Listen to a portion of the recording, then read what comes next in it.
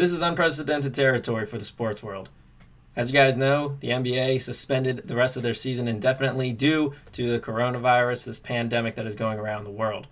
Other leagues have followed suit. La Liga in Europe is suspending their play. The MLS, the NCAA, all five Power Five conferences are canceling their conference tournaments. Still waiting to hear word about the NHL, which has told teams not to practice for the time being, and waiting on the fortune of March Madness and MLB baseball.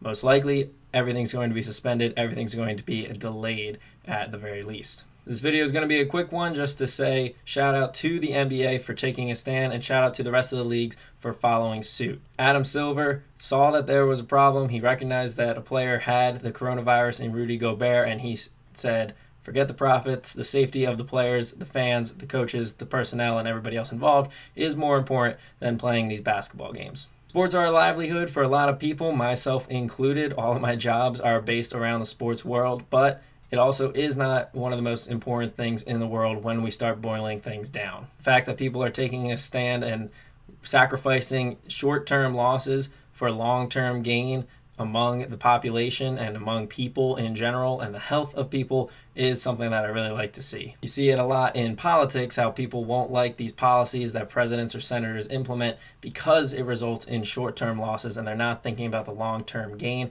And that's what this is all about with all these suspensions and cancellations of sporting events. I'm not a doctor, so I'm not going to act like I am and not going to act like I know everything about the coronavirus, but something I do know is that this virus is better off having a longer lifespan, but happening very slowly across that time, rather than hitting everybody at once and then disappearing rather quickly. Because if it's a few people who have it over a long period of time, every one of those people will be able to get treated and get treated and get help, as opposed to if it's everybody has it all at once, there's just not enough resources, not enough medical staff, not enough anything in order to treat everybody all at once. So that is the process of this.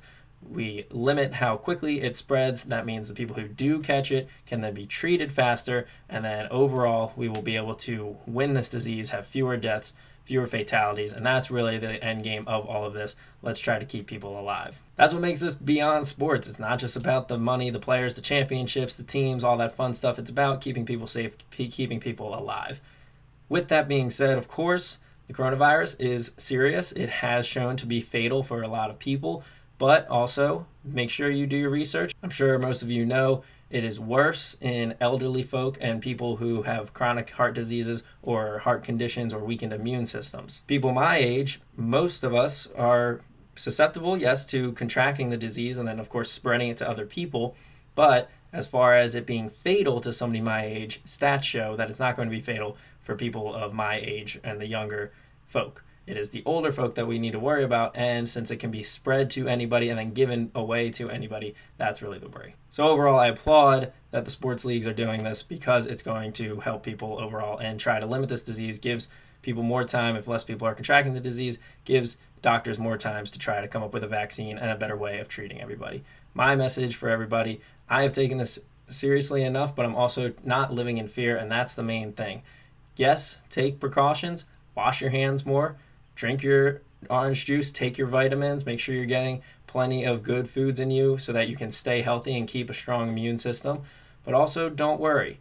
Be sure to wipe down at the gym, wipe down all the stuff that you use. If you're at your office, you know, take a couple extra Lysol wipes. All that stuff is very smart. It's good to do in general, but especially in this time with a disease that's spreading the way that it is.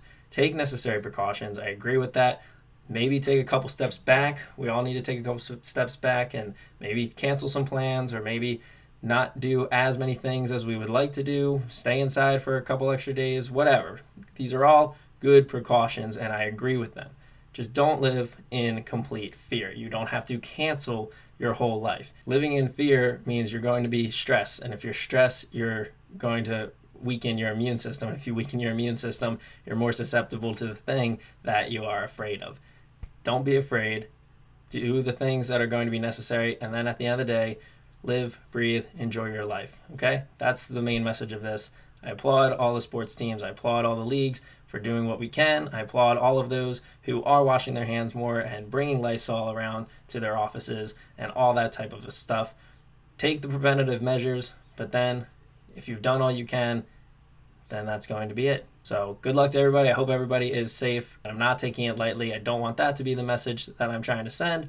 I just want everybody to know that we're going to be okay. We have doctors on this 24 7 figuring out a way to overcome this disease.